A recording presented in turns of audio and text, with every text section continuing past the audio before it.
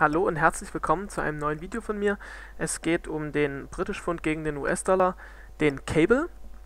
Wir sind momentan hier im Monthly Chart und sehen einen sehr, sehr impulsiven Abwärtstrend im Jahre 2008, der dann sich in einer Konsolidierungsform bis jetzt ins Jahr 2014 befunden hat. Also sechs Jahre Konsolidierung ist schon heftig. Na, natürlich im, im Monthly sieht das alles ziemlich klein aus wir haben ja trotzdem Ranges von, naja, über 2300 Punkten, aber nichtsdestotrotz ist das natürlich, wenn wir eine Konsolidierungsformation hatten, wir hatten hier einen Fehlausbruch, gehen wir jetzt davon aus, da wir, da wir uns auch hier im letzten Drittel des, beziehungsweise schon, in, ja, wir haben ja gut 80% dieser Konsolidierungsformation schon hinter uns, dass wir jetzt langsam vor einer Entscheidung stehen.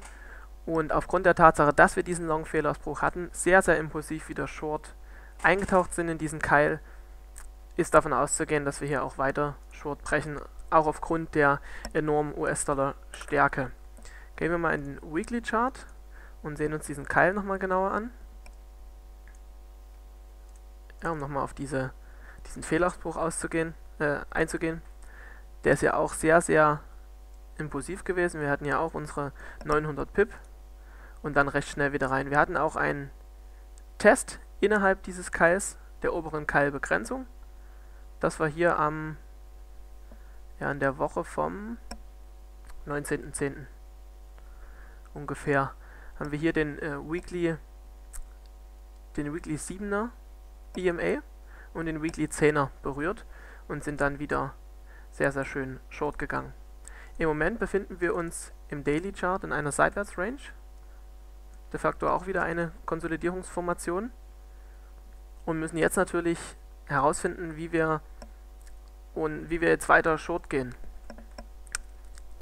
Wir haben hier das, das Hibo-Level angelegt, dieser letzten großen Aufwärtsbewegung und befinden uns innerhalb dieser Range an diesem 61,8er Retracement. Ein sehr wichtiges Retracement, was also sehr, sehr entscheidend sein kann, in die Long- wie auch in die Short-Richtung. Und hier pendeln wir halt momentan rum. Das Schöne ist, was zu sehen ist, wir sind, wir tauchen mehr unter dieses 61.8 Retracement und testen es von unten an und erleben immer wieder Short-Abpraller. Auch wieder ein Indiz äh, dazu, dass es weiterhin Short gehen sollte. Wenn wir darüber gehen sollten, über diese Seitwärts-Range, Moment, markieren wir das mal. Ja, dann ist auf jeden Fall ein großes Long-Momentum vorhanden. Dafür bräuchten wir aber auch US-Dollar Schwäche. Und die ist im Moment nicht ersichtlich, da wir gerade vor neuen, im US-Dollar Schweizer Franken, gerade vor neuen Long-Ausbrüchen stehen. Sollte es dennoch passieren, haben wir natürlich hier wieder laut Charttechnik Platz im Bereich der Größe dieser, dieser Range-Projektion, also bis zu den 1,6070 ungefähr, beziehungsweise könnten wir natürlich auch diese oberen Keilbegrenzung, den Daily 200er, der dann hier runterkommt in den Bereich. Können das mal markieren mit einem Rechteck. Und auch im, im Weekly erwarten uns hier, im Weekly Chart erwarten uns hier auch einige EMAs, die dann interessant werden könnten, aber das ist natürlich Zukunftsmusik. Wir beschäftigen uns eher mit dem Short-Szenario. Nochmal kurz zum Long. Wir hätten dann natürlich hier eine, eine Bodenbildung vollzogen.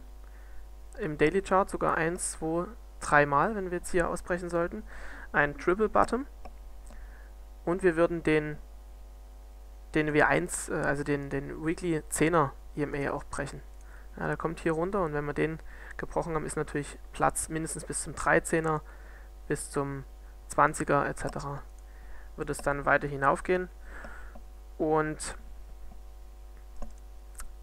abwärts ist natürlich favorisiert, wie gesagt. Der Trend geht weiter. Wir haben natürlich einen, einen sehr, sehr intakten Abwärtstrend. Und wenn dieser, diese Formation gebrochen ist, haben wir gleichzeitig auch den Monthly 200er EMA gebrochen. Also das ist natürlich, wäre natürlich ein erster Widerstand beispielsweise für einen, für einen Ausbruch und dann um vom, vom, äh, vom Monthly 200er EMA abzuprallen.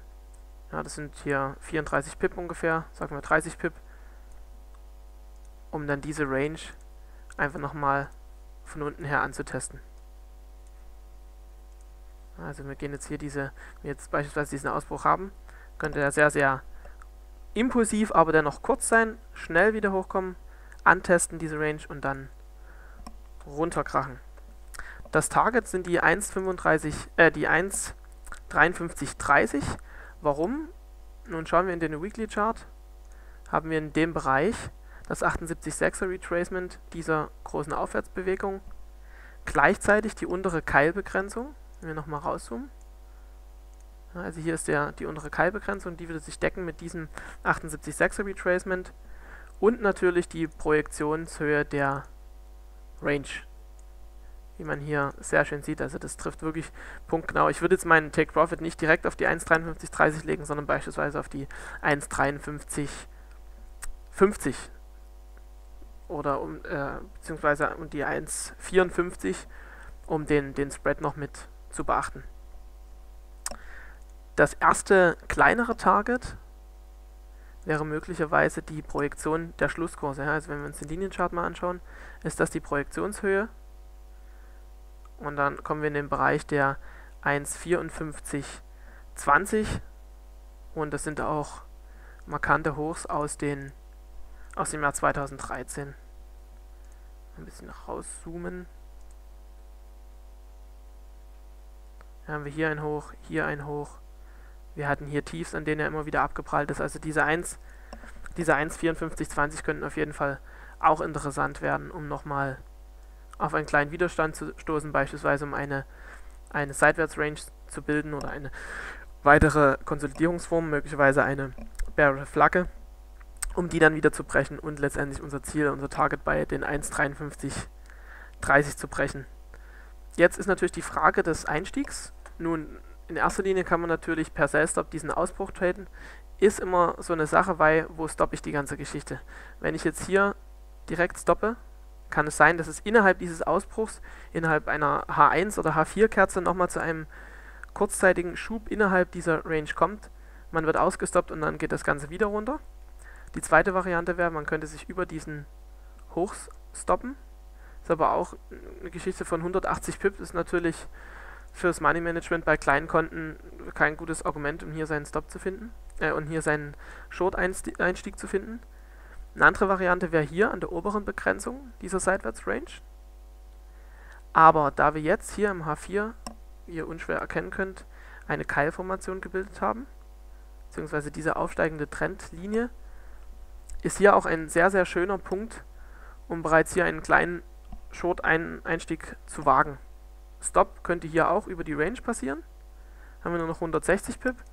Oder man nimmt sich wieder das Fibonacci Retracement zur Hilfe, legt es an diese inner, innerhalb der Range, diese, diese Abwärtsbewegung innerhalb der Range an und hat hier das 78,6 Retracement. Hier könnte man beispielsweise auch schön stoppen. Hat man nur noch so um die 90 bzw. 100 Pip. Legen wir mal die Pivot Points mit rein. So.